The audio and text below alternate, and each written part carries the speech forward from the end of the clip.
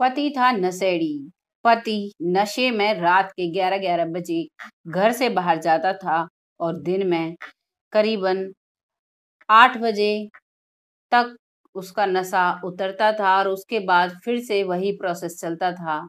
जो उसकी पत्नी थी, जो कि एक नई नवेली दुल्हन थी, जब वो अपने पति को इस हालत में देखती है तो बहुत ही परेशान होती है। एक सेठ जो कि दिल्ली का रहने वाला था वो एक लड़की को चुनता है जो बेहद ही गरीब परिवार से होती है लेकिन पढ़ी लिखी होती है। एक ऐसी दर्द भरी कहानी है अगर आप सुनोगे तो आप हैरान हो जाओगे। तो शुरू करते हैं आज की कहानी। नमस्कार मैं महक चौधरी लेकर आई हूँ आपके सामने दिल्ली के एक इलाके की सच।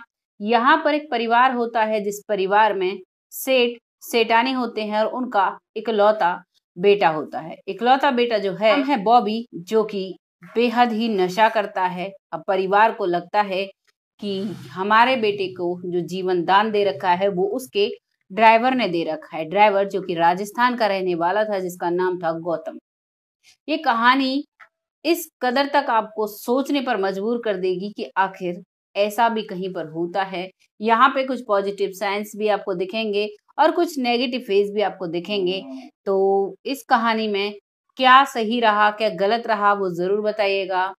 तो जब परिवार, क्योंकि जो सेठ जी थे, वो बहुत ही अमीर आदमी थे, करोड़ों की उनकी प्रॉपर्टी थी और करोड़ों की प्रॉपर्टी के साथ उनके, उनका एक ही बेटा था। अब उन्हें ऐसा लगने लगा था कि उनका बेटा मुश्किल से साल छह महीने का है। न जाने वो अपनी ज़िंदगी कैसे काटेंगे।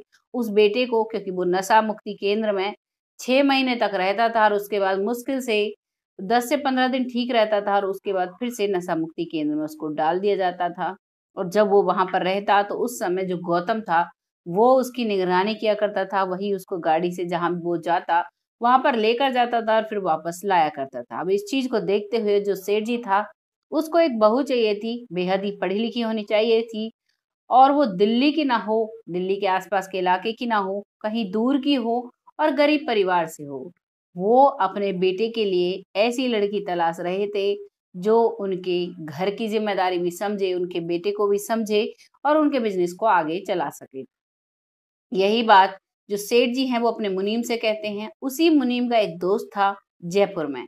जयपुर में वो अपने दोस्त से बात चलाता है कि तुम्हारी बेटी के लिए एक बहुत ही अच्छा लड़का है, उसकी बेटी जिसका नाम होता है नेहा, जो कि अपनी सारी पढ़ाई करने के बाद जयपुर में ही जॉब करती है। बेटी जॉब करती है, पिता भी मुनीम रहा है। जब एक मुनीम से दूसरा मुनीम बात कर रहा है तो वो समझ जाता है कि मेरी बेटी बहुत ही आराम से ज़िंदगी बसर करेगी, क्यों, क्योंकि उसके पिता ने पैसों की तंगी देखी थी और जब पैसों की तंगी उसने देखी तो उसे लग रहा था कि कोई बात नहीं, क्योंकि जो लड़का नशे, नशा करता था, वो बात सेठ के मुनीम ने लड़की के पिता को बता दी थी। उसने बताया था, बस और कोई परेशानी नहीं है, सिर्फ़ वो लड़का जो है वो थोड़ा बहुत नशा करता है और आगे चलकर शायद छोड़ भी देगा घर वाले कोशिश भी कर रहे हैं। ये बात पिता को जब पता चलती है तो पिता एक मिनट के लिए सोचता है कि मैं अपनी बेटी को किसके पल्ले बाँध रहा हूँ, लेकिन वो फिर मजबूर हो जाता है। वो सोच जाता है कि मैंने कितनी बड़ी तकलीफें झेली हैं। मेरी बेटी राज करेगी तो वो इस रिश्ते के लिए राज़ी हो जाता है। अब ये रिश्ता कर दिया जाता है और रिश्ते के बाद वो जो लड़का है उसको जयपुर बुलाया जाता है। वो उस टाइम नशा मुक्ति केंद्र से आया हुआ था। आने के बाद करीबन 10 से 15 दिन वो अच्छे से रहता था तो उसी वही टाइम पीरियड उसका चल रहा था। उस टाइम में उसे नेहा से मिलाया गया। वो भी देखने में काफ़ी स्मार्ट था क्योंकि जो उसकी स्कूलिंग हुई वो दिल्ली पब्लिक स्कूल से हुई और जो उसने ग्रेजुएशन की वो दिल्ली यूनिवर्सिटी से की पढ़ने में भी बेहद होशियार था, लेकिन घर का इकलौता बेटा था, पिता का बहुत बड़ा बिज़नेस था तो उसे काफ़ी सारे पैसे मिला करते थे और उन पैसों को खर्च करने के लिए उसके काफ़ी सारे दोस्त भी थे। उन्हीं की वजह से उसको वो नशा की आदत लगी थी, क्योंकि पैसों की कोई कमी नहीं रहती थी और जब पैसों की कमी नहीं तो फिर वो जो दोस्त थे, वो गलत गलत आदतों में उसको खींचते ले गए। यही सब का नतीजा था कि आज बॉबी बहुत बड़ा नशेड़ी बन चुका था। अब जयपुर में उन दोनों की मुलाकात होती है, दोनों एक दूसरे को पसंद करते हैं। नेहा भी गरीब परिवार से भले ही थी, लेकिन काफ़ी सुंदर थी। अब दोनों की वही एक बहुत बड़े रेस्टोरेंट में शादी कर दी जाती है और शादी के बाद अब उसे वो दिल्ली वापस ले आते हैं। दिल्ली रहने के बाद दो दिन तक बॉबी बिल्कुल ठीक ठाक रहता है, लेकिन तीसरे दिन रात को करीबन 11 बजे बॉबी अपने घर से चला जाता है। जब बॉबी कमरे में नहीं दिखता है तो उसकी पत्नी सभी जगह नेहा, बॉबी को ढूंढती है और तभी अपने सास ससुर के कमरे का दरवाज़ा खटखटाती है कि, पापा, बॉबी नहीं मिल रहे हैं। कहाँ गए?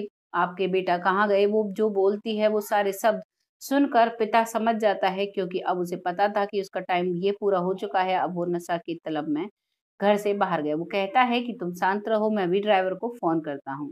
जो ड्राइवर था गौतम, उसको फ़ोन किया जाता है और पूछा जाता है कि, तुम कहाँ हो? तभी वो कहता है, और कहाँ? जहाँ पर हमेशा होते हैं, जब तक मालिक का मन नहीं भरेगा, तब तक मैं इन्हें कैसे ला सकता हूँ? और वो कहते हैं नेहा से कि, बेटा, वो आ रहे हैं अभी, किसी किसी काम से बाहर गए हैं, तुम आराम करो। तभी वो लड़की अपने रूम में चली जाती है, लेकिन उसको नींद नहीं आती है। करीबन रात के तीन बजे गौतम बॉबी को लेकर आता है। नशे की हालत में था, चलने की भी हालत में नहीं था। वो उसको पकड़ कर लेकर आता है और सोफे पर ही उसको लिटाकर वो भी खुद भी बैठ जाता है। तभी रात के तीन बजे नेहा वहाँ से आती है अपने कमरे से और आने के बाद बॉबी को देखती है, उसे इस हालत में देखकर वो समझ जाती है और वो आँखों से उसके आँसू टपकने लगते हैं और फिर वो अपने पति को अंदर ले जाने के लिए अपने ससुर से बोलती है कि, पापा, इनको यहाँ मच्छर काट जाएँगे, आप इनको मेरे रूम में लिटवा दीजिए। तभी नेहा और जो गौतम है, वो दोनों उसको अंदर लेकर जाते हैं, वो उसे लिटाते हैं। ये सारी चिंता देखकर, अपने बेटे के लिए जो उसके बहू के मन में उसकी चिंता थी, इसे देखकर माँ का मन पिघल जाता है और जो सिटानी जी होती हैं, वो और जो सेठ जी हैं, वो दोनों बैठकर नेहा को सारी बातें बताते हैं। वो कहते हैं कि, बेटा हमारा बेटा साल छह महीने का ही है और हमें अपने परिवार के लिए एक ऐसी बहू चाहिए थी जो हमारे परिवार को चला सके, हमारे बिज़नेस को चला सके और हो सकता है हमारे बेटे की भी ज़िंदगी बचा ले। इस बात को नेहा सुनती है और नेहा से वो बार बार माफ़ी मांग रहे थे, लेकिन नेहा ना तो उन्हें माफ़ कर पाती है और ना ही उनसे कुछ कह पाती है, क्योंकि वो समझ चुकी थी कि ये भी हालात के मारे हैं, हालात से मजबूर हैं। तभी सुबह होती है और नेहा अपनी मम्मी को फ़ोन लगाती है। नेहा जब अपनी मम्मी को फ़ोन लगाती है तो उसकी सास बहुत डर रही थी, न जाने क्या कहेगी, क्या होगा। लेकिन नेहा ये सोचकर अपनी माँ को कुछ भी नहीं बताती है कि जो दुख है, उसे मैं ही बर्दाश्त करूँगी अपने परिवार वालों को। कोई भी दुख नहीं दूँगी ये सोचकर वो चुप हो जाती है और वो अब अपनी मम्मी से हँसते हँसते फ़ोन बंद कर देती है और फिर अपने सास ससुर से बात करती है कि, माँ जी, पिताजी, यूएसए में बहुत अच्छे अच्छे ये जो नशा छुड़ाने वाले केंद्र हैं, जहाँ पर बहुत अच्छे से इलाज किया जाता है। और क्योंकि माता पिता चाह ही रहे थे कि उनके बेटे को कोई ऐसी जगह ले जाए, उसको ठीक करवा दे तो इस बात को सुनकर सास ससुर बहुत राज़ी हो जाते हैं। अब उसको नशा मुक्ति केंद्र में इंडिया के ही डाला गया, जिस पर, जिस, जिसमें वो हर बार जाता था। लेकिन यहाँ पर करीबन छह महीने लग जाते हैं नेहा को अपना पासपोर्ट बनवाने में। सास ससुर का भी बना हुआ था और उस लड़के का भी बना हुआ था।